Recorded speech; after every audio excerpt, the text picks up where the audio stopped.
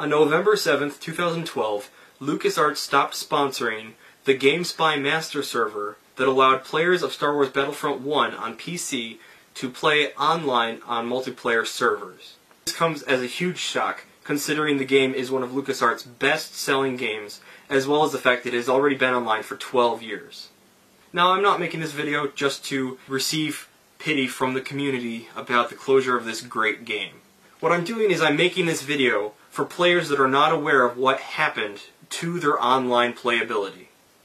I played with a lot of good people on the game, and I did not have any contact with them other than through the servers themselves. Some people may use a chat program such as Xfire to keep contact with other players, but there were a lot on there that did not use software such as that. However, what I want you guys to know is that there are ways to still play online and play the servers with other people.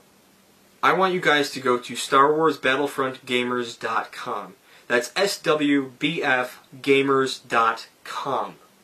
This is a site that has been built up around Battlefront, and it has tutorials for how to be a better player, tutorials for creating your own skins and modding and level building, all this cool stuff that you could do with Battlefront.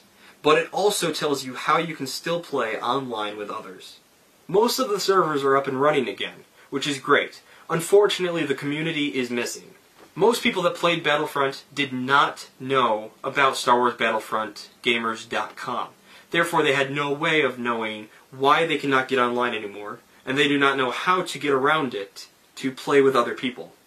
So what I'm asking you guys is to post this video on Twitter, Facebook, MySpace, whatever social media sites you use. Just get the word out, share this video. Even if you don't play Battlefront yourself, chances are someone you know does, and they are very confused about what happens.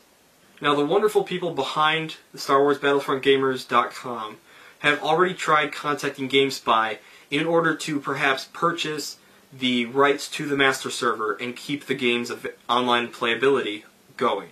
Unfortunately, GameSpy has turned them down on this and it is not possible.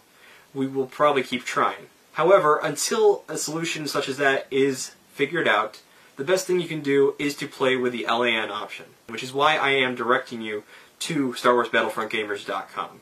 So please go to swbfgamers.com and find out how you can continue to play this great game online. I know it won't work for everybody, but hopefully if you guys spread this video, we can get a large part of the community back. So I want to thank you for that, and I will see you guys on the servers. May the Force be with you.